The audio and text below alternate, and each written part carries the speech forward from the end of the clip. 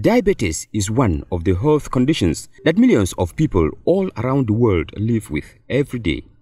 Basically speaking, it is the body's ability or lack of that ability to produce the required amount of insulin, a hormone that controls the level of glucose in the blood. When the body lacks the required amount of this hormone, it is a problem as well as when the body produces more insulin than required.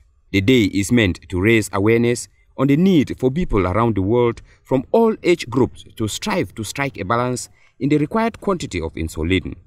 As such, this non-governmental organization, Le Train du Coeur du Cameroun, backed by its slogan, Act Today to Change Tomorrow, embarked on a sensitization campaign on various cardiovascular diseases to commemorate World Diabetes Day this Wednesday, 14th November 2018. Close to 180 children and 150 parents were schooled on ways to avoid diabetes such as regular sporting activities, avoiding much sugar, and eating natural food like vegetables and fruits.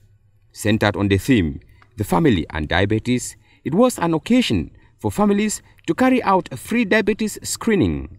Medics say two types of diabetes are identified today. One with children of less than 20 years, which destroy the production of insulin in the pancreas.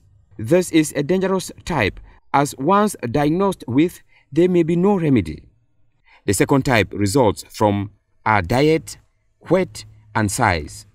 This is the common type and the only way out as these medical experts say is to control what we eat. As a result, diabetes, as they say, depends on the kind of life we lead.